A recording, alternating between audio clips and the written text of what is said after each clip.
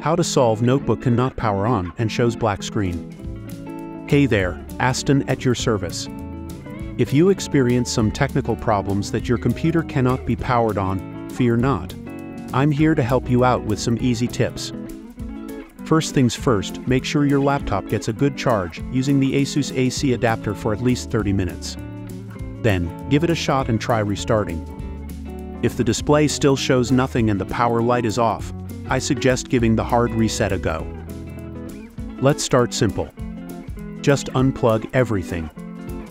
Hold down the power button for 40 seconds.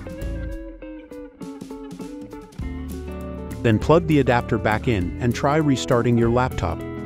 This handy tip often does the trick for most common issues. If your laptop's power light is on but the screen is dark, Try to press the function key and brightness key to increase the monitor brightness. You can also connect an external monitor to your laptop. Press function key and F8 toggle external display mode to toggle the display to the second monitor.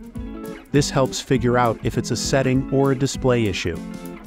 When all other attempts fall short, reset display settings with Windows key plus Control plus Shift plus B. If you're facing a situation where your ASUS laptop isn't showing anything after the ASUS logo, hold down the power button for 15 seconds until the ASUS logo appears. Repeat this force shutdown process three times. After the three force shutdowns, restart your laptop and enter Windows Recovery Environment.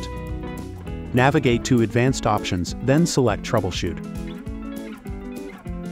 Follow the on-screen instructions to enter Safe Mode.